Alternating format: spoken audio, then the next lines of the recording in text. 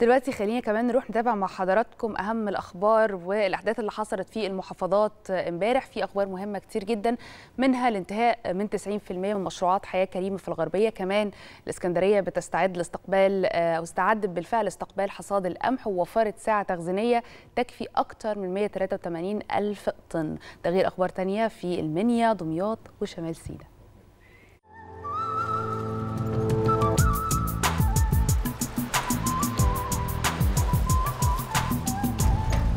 أخبار كتيرة حصلت امبارح في المحافظات. البداية من الغربية اللي تم فيها إنجاز 90% من مشروعات حياة كريمة.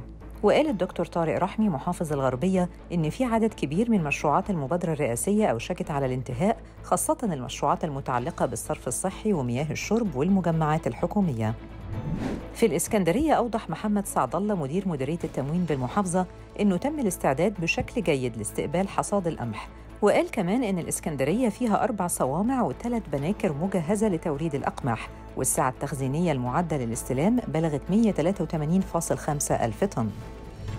في المنيا أعلن الدكتور محمد نادي وكيل وزارة الصحة استمرار أعمال الإحلال والتجديد بالمستشفيات ضمن مبادرة حياة كريمة وأكد كمان أنه بتتم أعمال الإحلال والتجديد بمستشفى العدوى بتكلفة 307.6 مليون جنيه ونسبة التنفيذ وصلت 28% ومستشفى مطاي بتكلفة 297.5 مليون جنيه بنسبة تنفيذ 21% ومستشفى بني مزار المركزي بتكلفة 346.2 مليون جنيه بنسبة تنفيذ 23% وده في الوقت اللي انتهت فيه أعمال إنشاء الوحدة الصحية بقرية مهدية بنسبة 100%. في دمياط قال الدكتور السيد عبد الجواد وكيل وزارة الصحة إن فعاليات المبادرة الرئاسية للقضاء على قوائم الانتظار بدمياط مستمرة وتم إجراء 1585 عملية جراحية مجانية في أول ثلاث شهور من 2022 بالمستشفيات العامة والخاصة.